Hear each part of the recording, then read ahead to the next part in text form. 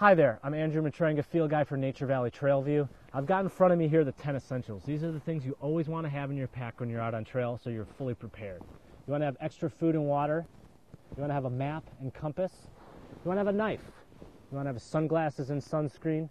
You want to have a lighter, matches. You want a flashlight or a headlamp, first aid kit, and then you want extra layers as well for installation. Make sure you always bring this stuff with you on trail. You'll have a better experience when you're prepared. And now you can head back to naturevalleytrailview.com, look at more from the parks, plan your own trip, and happy hiking out there.